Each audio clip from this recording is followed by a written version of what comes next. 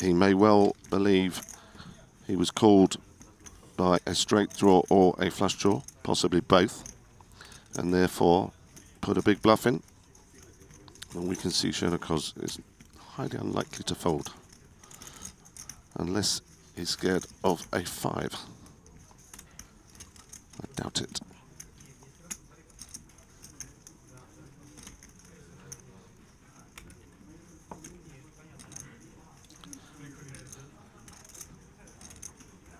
Oops.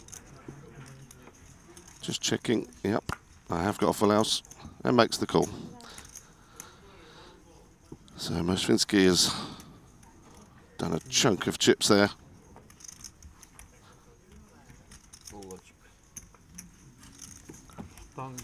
Running fours. Flopped an open ender uh, with running fours, made a full house.